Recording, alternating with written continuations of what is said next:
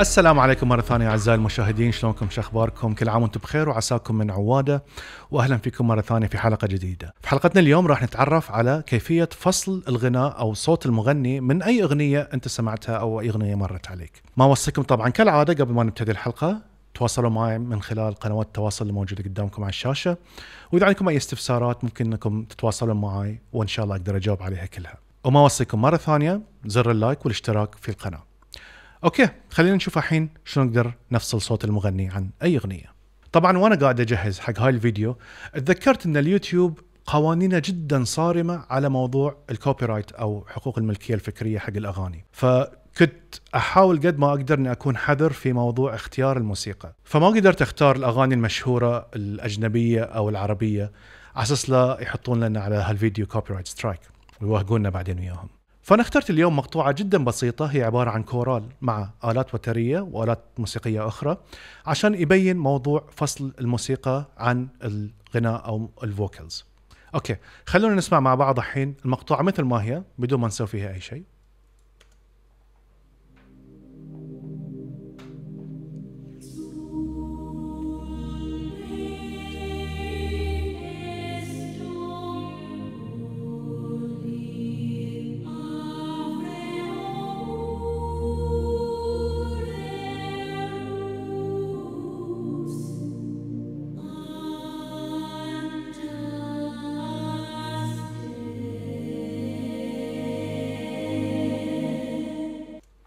okay؟ مقطوعة جدا بسيطة واضح إن هي فيها كورال وفيها آلات أخرى. طبعا مقطوعة طويلة بناخذ منها جزء بسيط. خلينا ناخذ يمكن نقول هاي الجزء اللي هني. okay؟ بس بسوي mute حق الأجزاء الثانية عشان يكونوا واضحين. نكبر الشاشة شوي. الحين صار عندنا هاي المقطوعة هني. شنو بنسوي وشنو البرنامج اللي راح نستخدمه؟ طبعا برنامج RX هو البرنامج اللي راح يساعدنا في هاي الشغلة بشكل جدا سهل. وبشكل جدا دقيق. فإحنا شو بنسوي؟ إحنا بناخذ هاي الصوت بناخذ هاي الملف الصوتي بنوديه حق RX عشان نسوي التعديلات اللي إحنا نبيها عليه ونرد نرجعه مرة ثانية في Pro Tools أول شيء بسويه هو إن أنا بروح حق ال AudioSuite فوق في المنيو وأروح حق iZotope وأختار RX Pro Connect بيجيب لي هاي الشيء بهالطريقة. في خطوة طبعا لازم أسويها هني إذا انت هاي أول مرة تستخدم هاي الطريقة. وإذا كنت أيضا مستخدم حق ال Pro Tools لازم يكون عندنا auxiliary track عشان نقدر نسمع فيه من برنامج ال RX فأنا شنو بسوي؟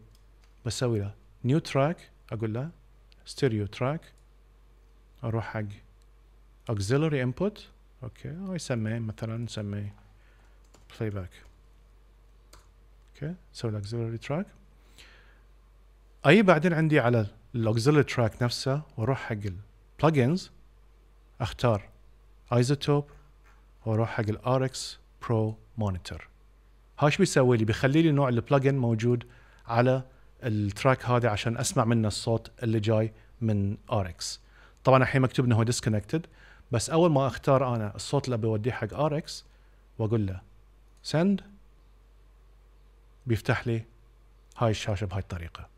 هذا هو ال music track اللي إحنا سمعناه قبل شوي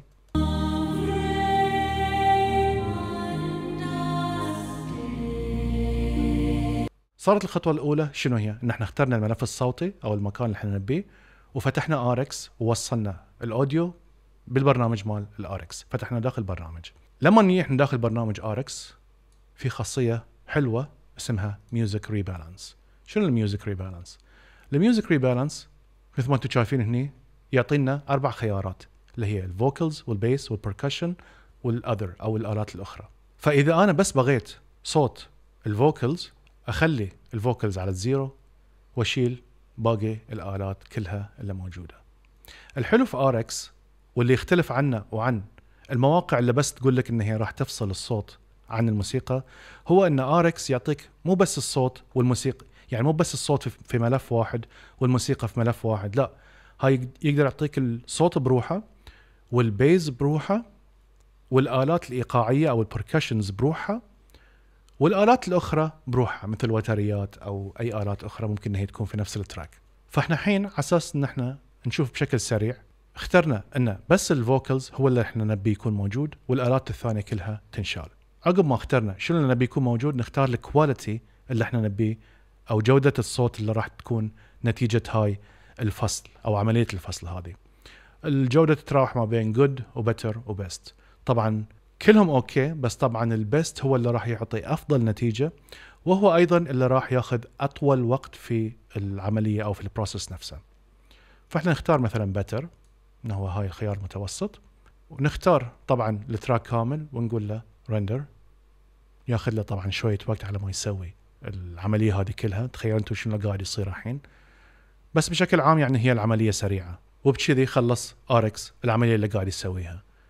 شنو سوى؟ خلونا نسمع شنو سوى الحين.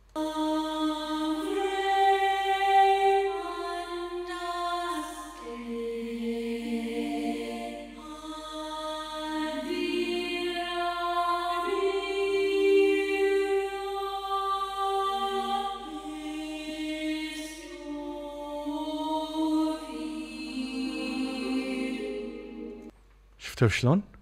شال ال vocals بس من ال track نفسه. هاي سحر ترى يا جماعة. يعني إذا عندك تراكات حاب تسوي لها ريمكس بس طبعا لازم تاخذ ال permission أو الإذن من صاحب الأغنية الأصلية على أساس أنت بعد لا تدخل في مشاكل قانونية مع الشركات اللي هي اللي قاعدة تنتج هاي الأغاني. هاي صوت ال track قبل ما نشيل منه صوت ال vocals بروحه.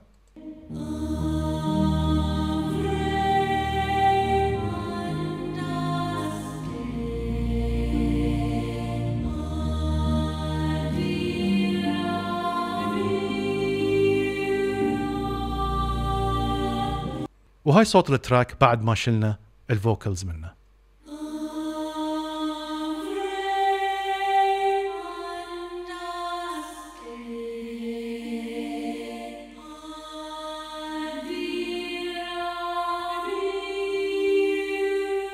okay الحين بعد ما صار عندنا ال vocals track هم بروحهم بهالطريقة نقدر نحن نقول send back فقام رجع لنا ال vocals اللي إحنا عدلناه إلى Pro Tools وعشان نخلي هاي التعديلات بشكل دائم في ال track اللي عندنا نقول له render الحين صار ال track موجود عندنا بهاي الطريقة في Pro Tools نسمعه.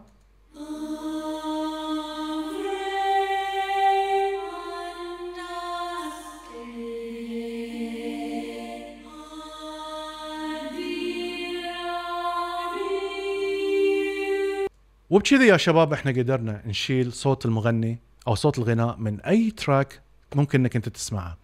طبعا مثل ما قلت لكم تأكدوا من إنكم تخلون بالكم على موضوع حقوق الطبع أو ال copyright حق الأغنية على أساس ما يصير في أي مشاكل إما عن طريق اليوتيوب أو عن طريق أي مواقع أخرى أو حتى الشركات اللي هي نفسها اللي أنتجت هاي الموسيقى. فإن شاء الله عجبتكم حلقة اليوم. ما أوصيكم مرة ثانية.